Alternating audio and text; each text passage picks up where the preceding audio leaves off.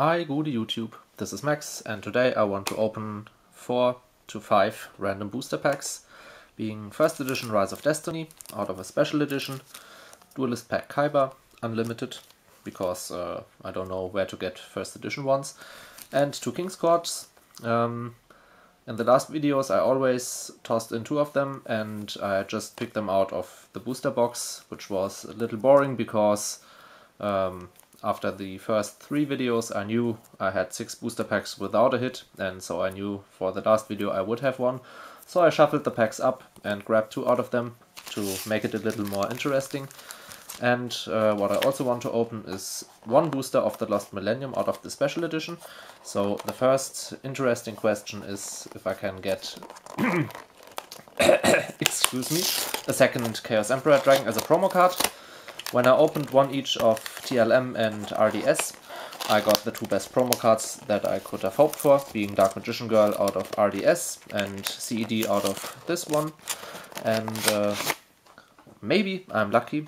And, oh yeah, nice, I am.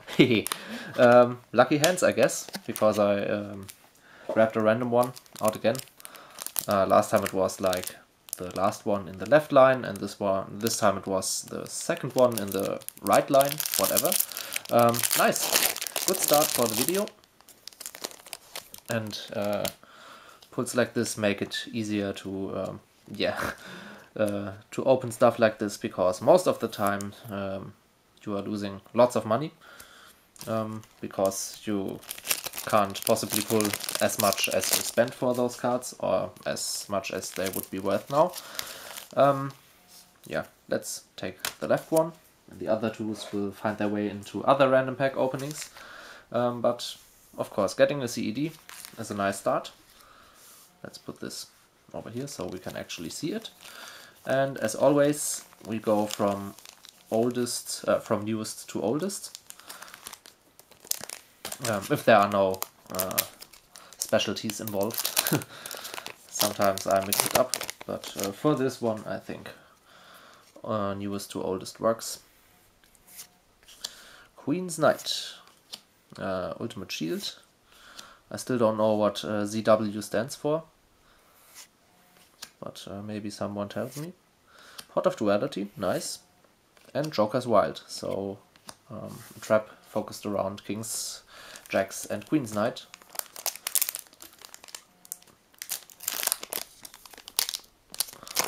Second pack. There's still a possibility of a star, uh, not a Starlight, a Collector's Rare in this uh, box, because I didn't pull one so far. Arcana Extra Joker, Golden Eyes Idol, Arcana Knight Joker, and oh, okay, Gilti-Gearfried, the Magical Steel Knight, um, so another ultra rare. That's number two of the box. And yeah, um, I can't say if this is a good card yet because I didn't test it as a super polymerization target. Um, it needs two warrior monsters with different attributes, so um, against certain decks this might come in handy, but yeah, most of the times uh, other cards are better for super poly, like um, Mudragon of the Swamp or the uh, monsters that require dark materials because many good warrior monsters are uh, dark monsters too. So um, yeah, but it's an ultra rare. Uh, I'm happy with that. Um, yeah, there's a Chaos Emperor Dragon. Maybe there's uh, one in here too. Being an ultimate rare, but uh, the chances of that happening are very slim. So um, there are, I think, four different uh, Ultimate Rares, being Cyberjar, Ring of Destruction, Pot of Greed, and Chaos Emperor Dragon.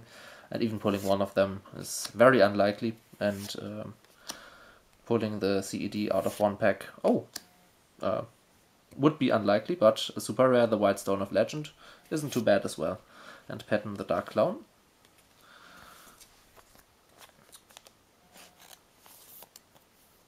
So the second decent pull I mean, uh, it's not a card that's crazy uh, in value, but who knows? a super rare for uh, blue eyes decks might be something that uh, some people appreciate.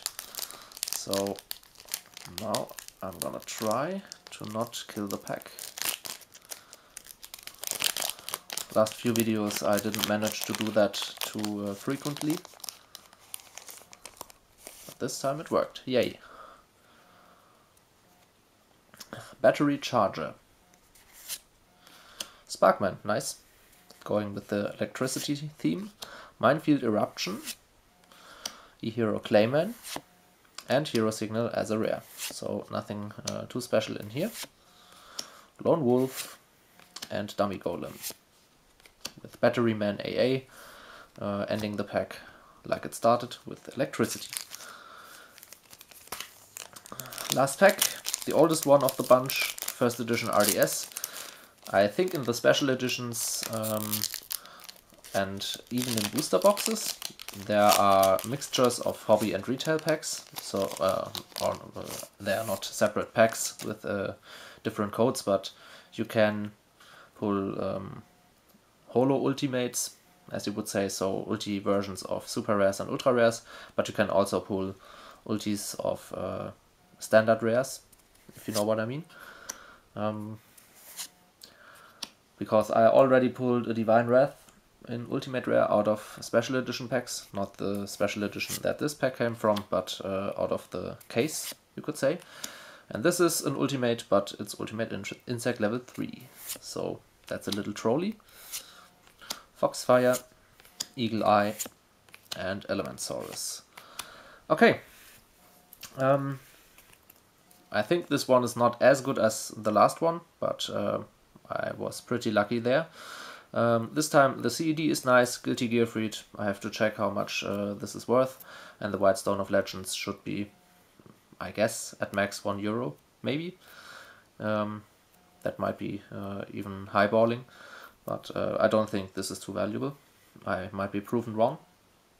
So um, that's it for today.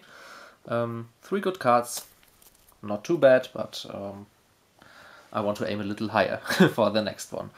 Uh, thank you for watching, consider subscribing if you want, and if you enjoy my content, and see you next time on Random Old School Yu-Gi-Oh! Goodbye!